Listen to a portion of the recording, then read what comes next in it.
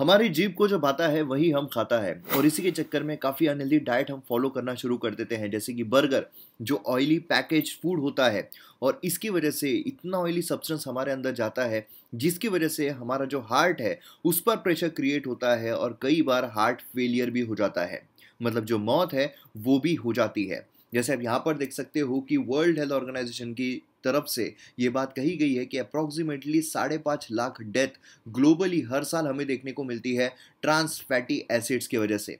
अगर हम world health organisation की रिसेंट रिपोर्ट देखें तो 5 बिलियन लोग जो है ग्लोबली अनप्रोटेक्टेड है हार्मफुल ट्रांस फैट की वजह से। जिसकी वजह से जो हार्ट डिसीज है, उसका रिस्क काफ़ी ज़्यादा बढ़ जाता है, जो डेथ है, वो काफ़ी ज़्यादा यहाँ पर बढ़ जाती है। उसी के साथ साथ यहाँ पर डब्ल्यू जो है उसने पहली बार जो ट्रांस फैट है उसके एलिमिनेशन की बात की थी 2018 में और एलिमिनेशन टारगेट सेट किया गया था 2023 का। अब आपके मन में सवाल ज़रूर आ रहा होगा कि ये तो हम बात कर रहे हैं कि यार इतनी मौत हो रही है, इतने लोग मर रहे हैं हार्ट डिसीजेस हो रहे हैं ट्रांस फैट की हम इतनी बात कर रहे हैं तो क्या सारे फैट्स अनहेल्दी होते हैं?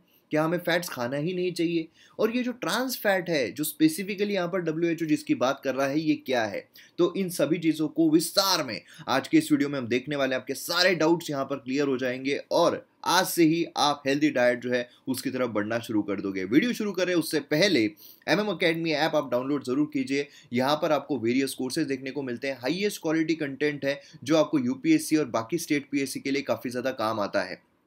तो यहाँ पर आपको G S one two three four पूरा सिलेबस जो है वो कवर्ड किया गया है। आपको यहाँ पर खास है कि कंसाइज नोट्स मिलते हैं क्रिएटिव लेक्चर्स होते हैं डाउट क्लियरेंस होता है और पर्सनल कोच मिलता है। जैसे आप जिम में जाते हो तो वहाँ पर बहुत ज़रूरी है कि माइक्रो मैक्रो जो न्यूट्रिएंट्स है वो आपके शरीर को कैसे मिले, आपका बॉडी स्ट्रक्चर कैसा है, जिस हिसाब से आपको पर्सनल ट्रेनिंग दी जाए। उसी तरीके से यहाँ पर भी पर्सनल कोच के ज़रिए आपको यहाँ पर ट्रेनिंग दी जाती है कि कैसे आप पढ़ना है, कितना पढ़ना है, कितना रिवाइज करना है, क्योंकि हर किसी के क्षमता जो होती है याद रखने की वो अलग अलग होती है। तो इसके थ्रू आपको पर्सनल गाइडेंस जो है अच्छा खासा मिल जाता है, जिससे कि आपके क्लियर करने के चांसेस काफ़ी हद तक बढ़ जाते हैं। तो डाउनलोड कीजिए एम अकेडमी ऐप और वीडियोज़ को एंजॉय कीजिए। तो आइए हम यहाँ पर आते हैं हमारे टॉपिक पर, जो कि है ट्रांसफैट के बारे में। ट्रांसफैट ये एक फॉर्म ऑफ़ अनसेचुरेटेड फैट है, जो कि फ़ूड में प्रेजेंट रहता है। अब यहाँ पर आप देखोगे तो फैट्स क्या हमारे शरीर के लिए हानिकारक है? सारे फैट्स हानिकारक है। जी नहीं। कुछ ऐसे फैट्स हैं जो हमारे शरीर को जिसकी ज़रूरत पड़ती है। लेकिन कुछ ऐसे फैट्स होते हैं जिसकी वजह से हमारा शरीर जो है, वो और ज़्यादा और ज़्यादा बदतर हो जाता है, जिसकी वजह से अलग अलग डिसीजेस हो जाते हैं और जिससे मौत भी हो सकती है। उसमें से एक है ट्रांस फैटी एसिड्स ये मीट में जो डेयरी प्रोडक्ट्स होते हैं, उनमें मौजूद होता है। फॉर एग्ज़ाम्पल अगर हम बटर की बात करते हैं तो उसमें three percent of trans fatty acid जो है, वो हमें देखने को मिलता है। अब यहाँ पर हम बात करते हैं फैट्स की, कि फैट्स होता क्या है? फैट, ये one of the main micronutrient macronutrients है। अब मैक्रोन्यूट्रिएंट क्या होते हैं? जो ओवरऑल हमारे शरीर के लिए इंपॉर्टेंट है। उसमें हमें fats carbohydrates and protein protein तो आप सभी को पता है। अगर आप जिम जाते हो तो प्रोटीन तो आप हर बार सुनते ही होगे कि भाई प्रोटीन जो है वो खाना ही पड़ेगा।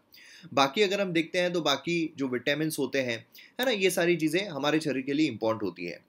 फैट जो है मेजर सोर्स होता है हमारे लिए एनर्जी का। और आपकी जो बॉडी है एब्जॉर्ब्स विटामिन उसके लिए काफ़ी फैट जो है वो हेल्प करता है। इसका मतलब ये है कि फैट की आपके शरीर को ज़रूरत ज़रूर पड़ती है। ऐसा नहीं हो सकता है कि आप फैट्स को अपने शरीर से कम्प्लीटली एलिमिनेट कर दो।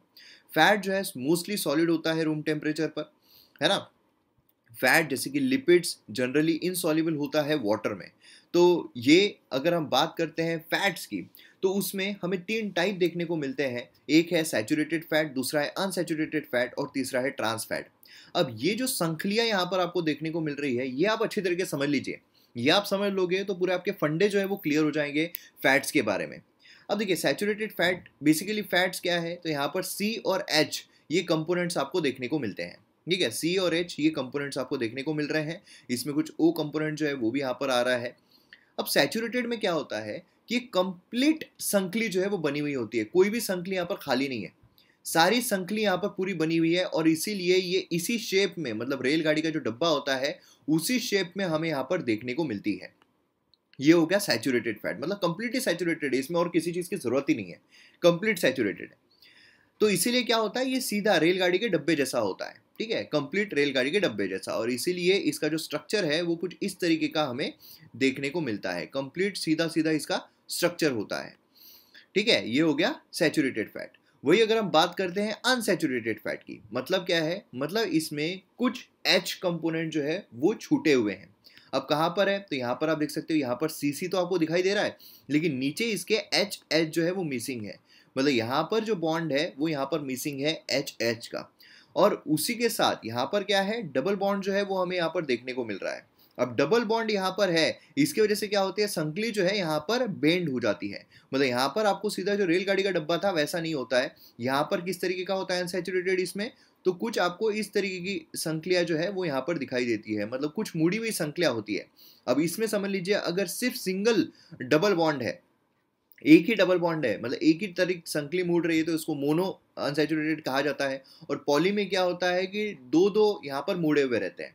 तो मतलब बेसिकली क्या है कि ये जो हमें देखने को मिल रहा है, इसमें गैप नहीं होती है सेचुरेटेड इसमें अनसेचुरेटेड इसमें हमें जो गैप है, वो बेसिकली यहाँ पर दिखाई देती है।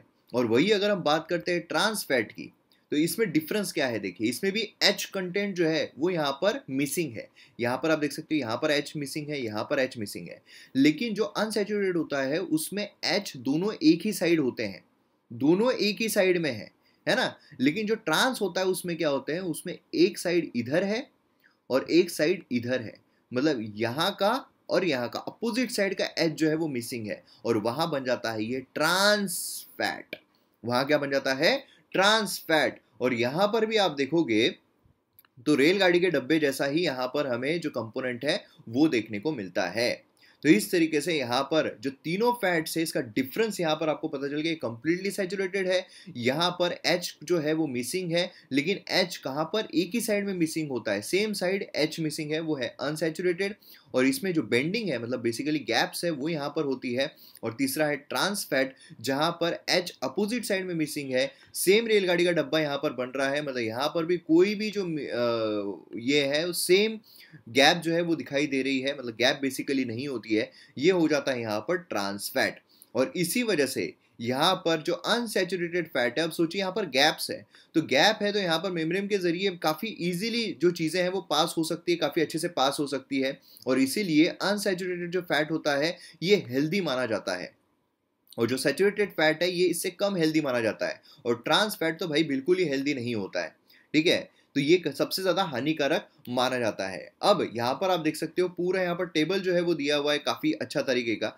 यहाँ पर आप देखोगे सेचुरेटेड यहाँ पर ट्रांस एंड यहाँ पर अनसेचुरेटेड में आप देखिए मोनो अनसेचुरेटेड है पॉली अनसेचुरेटेड मोनो में क्या है? एक ही डबल बॉन्ड था.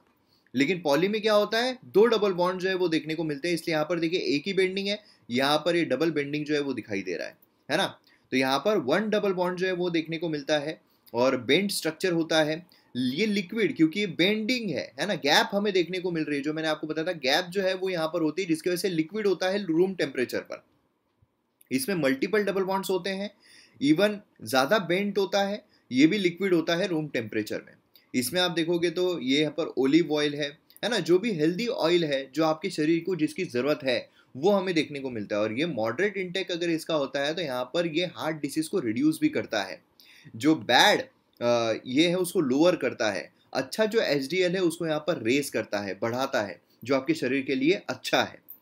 वही पॉली में अगर हम देखते हैं तो मॉडरेट इंटेक जो है, यहाँ पर हार्ट डिसीज को रिड्यूस करता है है ना? ये जो ओमेगा थ्री ओमेगा सिक्स है, ये रेशो काफ़ी अच्छा होता है आपके हार्ट के लिए।